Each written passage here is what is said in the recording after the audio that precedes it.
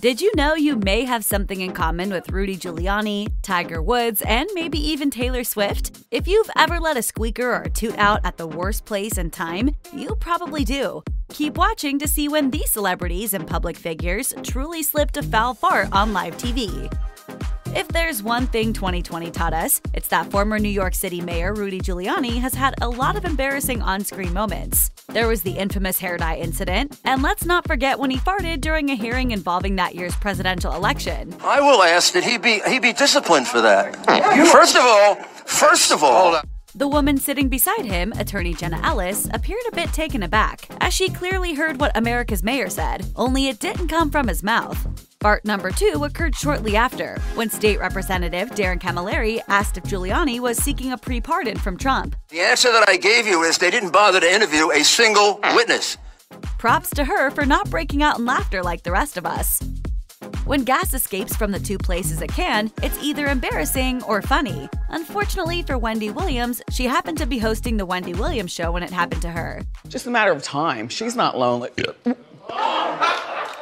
I apologize. I apologize. The event launched a round of hashtag Fartgate on social media in reference to Williams, and not for the first time. According to Vice, the former shock jock previously denied passing gas on camera in January 2020 and was forced to address the on air flatulence rumor in July 2021 on Radio Andy. Wendy claimed the sound wasn't what the audience believed it to be, but rather a crew member prepping for an upcoming segment, ultimately saying, that keeps going around. It's so fuck, it's so disgusting.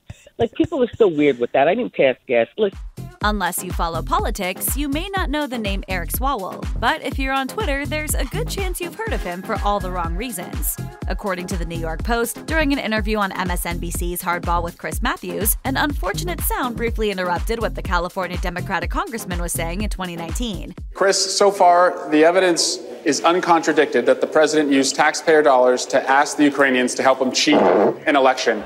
It's clear that there was indeed the sound of flatulence, and Swalwell paused at the moment it occurred, but the representative has since denied it. The hashtag Fartgate dominated Swalwell's headlines, and he even went on Late Night with Seth Meyers to, among other things, deny that he dealt it. You're claiming this is you absolutely not. Yes, total exoneration. Total Yes, yeah. exoneration. Wood's conduct on the golf course has drawn attention over the years, and his flatulence has often taken center stage. Apparently, Woods farts while playing fairly often. One instance happened in 2009 while he was waiting on the group ahead of him at the Buick Open. It's interesting that uh, all three of his 09 wins have been in his last. Farts make people laugh, which is a good thing. Just ask the hosts of ESPN FC's Extra Time, as one particular incident left one co host crying laughing in August 2021. Alejandro Moreno was discussing a point when the event occurred. up until last year. So you, you okay, Kay? This led to Kay Murray absolutely losing it, even going so far as to wipe tears from her eyes. When Moreno asked Kay if she was okay, she replied, Sounds like you had something to say. Stevie Nicol then admitted to being the culprit, playing it off as a joke. I'm not going to say because somebody would say what, whatever I said stunk, so I'm not going to Yes. do it. So I'm not going to do it. You said plenty already. After Phil Simms walked off the football field for the last time in January 1994, he moved into sports broadcasting alongside Jim Nantz. In January 2017, the camera cut to the two guys during a break in the AFC wildcard playoff game's third quarter. And in a potent of things to come, the sportscasters discussed the weather. I think it's warmed up though, Jim, just to talk about the atmosphere of the game. What do you think? Are you warmer now than you were earlier in the game? or are you just numb? I'm fine. Okay. I'm worried about you. Taylor Swift, whose public persona is synonymous with class, poise, and elegance, doesn't seem like someone who would fart on television, even accidentally.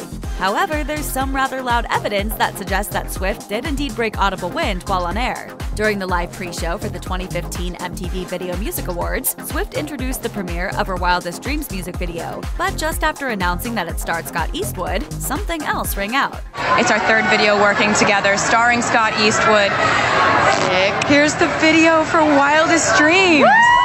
It looked like a fart and sounded like a fart, but MTV denied it was a fart. A network representative told TMZ that because of the position of Swift's microphone, there would be, quote, absolutely no possibility of it capturing that noise. Officially, the noise that sounded like a fart was chalked up to a technical glitch.